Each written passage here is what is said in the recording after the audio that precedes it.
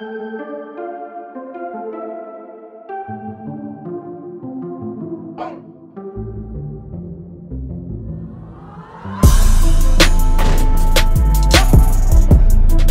What's going on, everybody? Uh, apologize for the noise in the background. I'm outside with it today. Why? Because it's nice out, and I like recording outside when it's nice.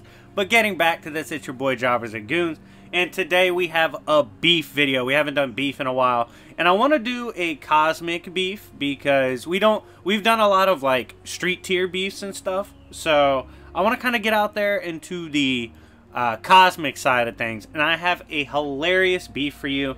It's actually a pretty funny one because it was misconstrued by a lot of people in the uh, power scaling community for a long time, and it was used to wank certain characters. So we're going to talk about this particular beef that caused a lot of controversy in power scaling, and this is Trigon versus Presence the Beef. I hope you guys enjoy, and if you love videos like this and would like to see your favorite character or story on either this channel or the coffee shop, you can either comment down below and hope I uh, one day cover it, or you could simply purchase it and add me on Discord to hit me up about it. But anyways, I hope you guys enjoy this, and without further ado, let's begin. And I, I know what you guys are thinking. You, If you've been a long time member of my channel, you'll be like, dude, how does Trigon beef with the Presence? First of all, we do have to give some credit to Trigon. He was talking his shit in this run. Like, he, he definitely thought there was a vibe, uh, but there wasn't for him, unfortunately. So let's go ahead and get right on into it so you guys can see how funny this story is. So, I actually read this story when I was investigating Phantom Stranger. The reason I was doing so is because all my time covering comics, people have referred to Phantom Stranger as a cosmic trash can, right? Like, he's supposed to be a, the ultimate jobber, makes Living Tribunal look like a wind magnet, right? So he, he's he's definitely suspect. So I was like, you know what? I'm gonna read Phantom Stranger, see if I can correct his uh, reputation as a jobber, because I did so with Spectre, right? So I read this run. Turns out, still jobs. Hate to see it, but it was a great run. Phantom did have some feats in it too, and did show some uh, heart at certain times. But the best part of the run is it gave us Trigon Inspector's beef, or uh, Presence beef. The reason this was funny as shit is because of how it started, right? So at one point, Presence is like, yo, Phantom Stranger, I need you to do uh, me a favor. Stranger's like, yo, why am I doing this for you? Why am I doing that for you? Presence like, stop asking questions, bitch. You're my cosmic slave. Like, he's like, shut your mouth. You work for God. And he's like, go take Raven to her bitch-ass daddy, okay? Go drop her off. And he's like, why would we give her to Demon? He's like, again, bro, stop asking questions. Damn. But he's like, my plans are so far beyond anything beings like you and Trigon can comprehend that it's just irrelevant for me to try to explain it to you. It's like it's like trying to explain to jobbers and goons fucking cricket, how to play cricket, right? That shit's not gonna work. That shit's confusing when I watch it, alright? So Presence was like, just don't worry about it. Stop trying to figure me out. You literally can't comprehend me. He's like, even an evil, there's good plans, right? Which is interesting, but he's like, even in something you view as inherently evil like Trigon, which is supposed to be like complete evil, there's good plans in there. This confused the shit out of Phantom Stranger, but he's like, alright, whatever. So he takes, he subdues Raven, very impressive by the way, takes her to her dad, right? He's like, yo, Amazon Prime delivery, here's your daughter, uh, Presence said you can have her, right? And Trigon comes down, he's like, oh, my daughter, I've missed her.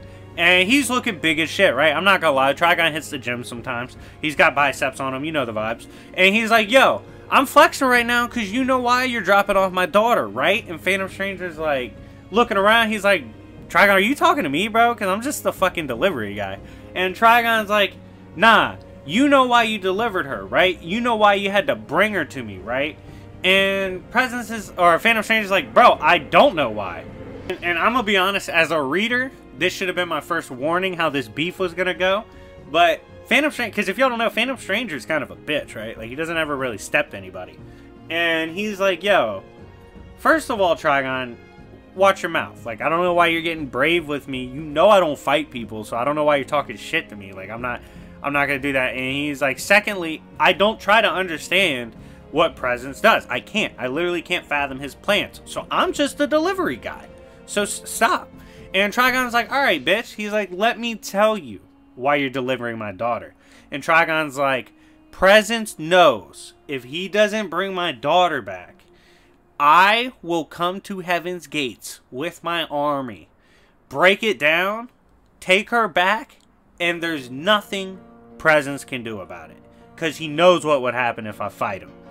And Phantom Stranger's like, bro, that's a dope ass speech, but no one believes that shit. and Phantom was like, dog, I don't know his plans. I agree, but I also know he's not copping a plea deal with you. So I don't know why you're trying to say that. He's like, look, just take your daughter back, go on your high horse or whatever, believe what you want, but come on, dog. Like, he's Phantom Stranger's like, keep it a buck. You know Presence isn't scared of you. And Trigon's like, nah, bitch, he's scared. So that's really the foundation. That's like the jump off point, right? Live chat, let me know what you think of the jump off point. I thought it was a hilarious exchange, especially because Phantom Stranger never talks shit. But he was mad at this point.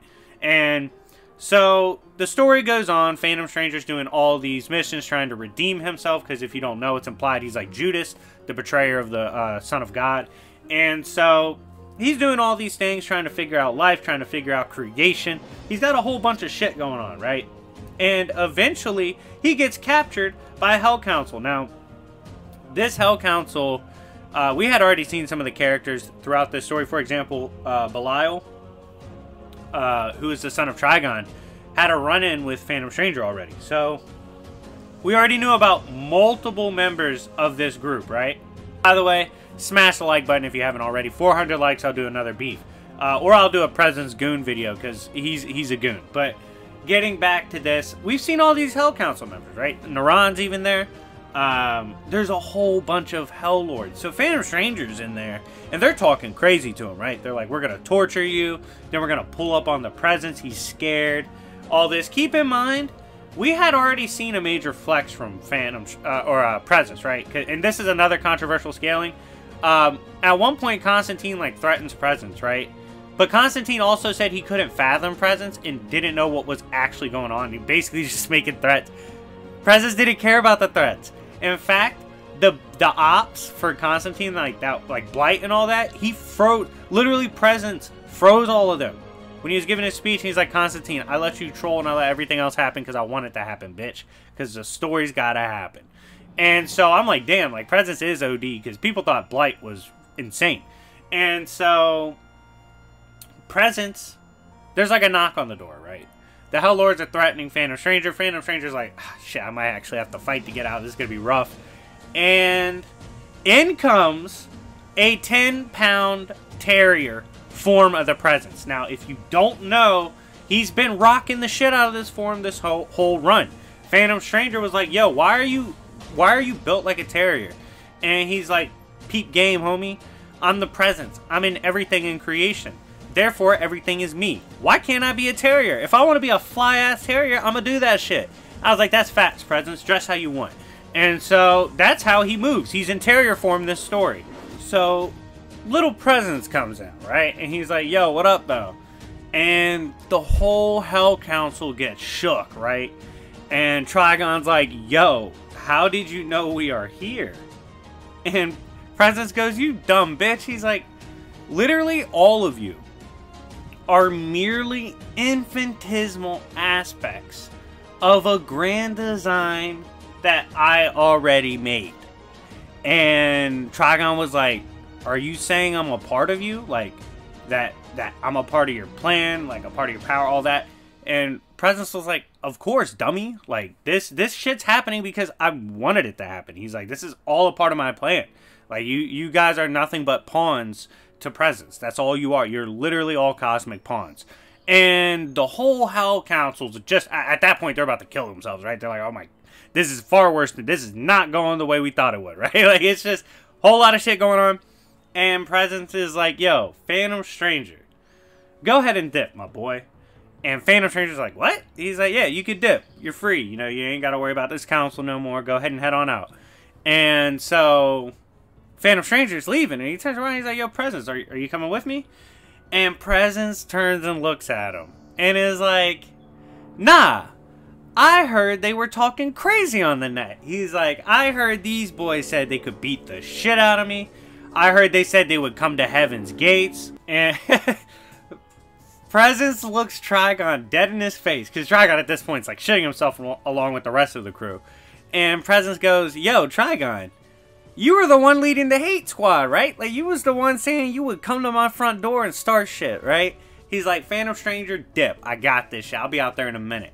And, dude, Presence vibe at this point, even though he's only a 10 pound dog, keep that in mind, was so OD that Phantom Stranger said a prayer for Trigon and his homies. Sure enough, do you, by the way, do you know how bad that is? The ass whooping's gonna be so severe and basically an angel's praying for a Hell Lord. That's horrible. But anyways, few moments pass. Presence comes back out. Perfectly fine. Looks at Phantom Stranger. Phantom Stranger's a little un uneasy because he doesn't know if he just witnessed a cosmic genocide. And Presence was like, yeah, I don't think they're going to talk crazy no more, my guy. I think I handled that shit. And that ended the beef with Presence absolutely throttling Trigon and his Hell Council for talking crazy about him. That's right. They don't scale to Presence or above him. They're all infinitesimal aspects of him and a part of his grand plan, which was hilarious to see, and it was funny how bad he beat their ass and vibe checked him. One of the greatest vibe checks I've ever read in comics. But anyways, guys, thank you so much for watching. If you like content like this, make sure to like and subscribe. Uh, road to 20k, baby. I'm here for it. Uh, thank you guys so much for watching. It's been your boy Jobbers and Goons, and I'll see y'all later. Peace.